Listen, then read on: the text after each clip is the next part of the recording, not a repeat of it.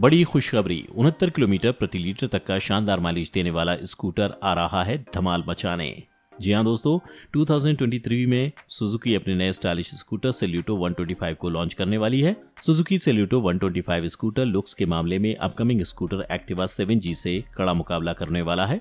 सच कहूँ ना, लुक्स के मामले में सुजुकी सेल्यूटो 125 स्कूटर मुझे तो एक ही नज़र में दीवाना बना गया। बस इंतज़ार है तो आपका। और अगर आप भी नए साल में अपने परिवार में एक नया मेंबर को ऐड करना चाहते हैं तो एक बार ज़रूर जान लीजिए अपकमिंग सुजुकी सेल्यूटो 125 स्कूटर के बारे में। आज हम कीमत से लेकर फीचर्स और लॉन्च डेट तक की हर ज़रूरी बात डिटेल्स में बताएँगे। तो वीडियो में बने रहिए, साथ ही हमारे यूट्यूब चैनल एन हिंदी को सब्सक्राइब करके बेल का आइकन भी दबा दीजिए, ताकि आप कोई भी वीडियो मिस ना करें। अपकमिंग सुजुकी सेलेटो 125 स्कूटर की बात करें तो इसे कंपनी ने हाल ही के दिनों में ताइवान में लॉन्च किया था, और अब सुजुकी सेलेटो 125 स्कूटर बेहद ही जल्द भारत में भी लॉन्च हो जाएगा।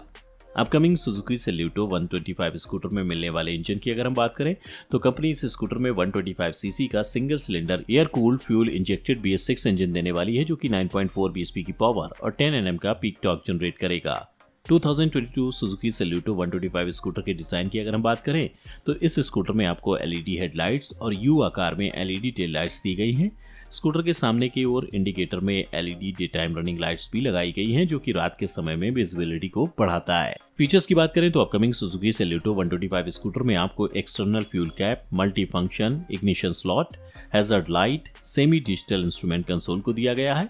इस स्कूटर में फ्यूल टैंक फ्लोर बोर्ड के अंदर दिया गया है, जिससे स्कूटर की सीट के नीचे सामान के लिए जगह बनाई गई है। इसके अलावा नया सेल्यूटो 125 स्कूटर में हर जगह क्रोम की लाइनिंग देखने को मिलेगी।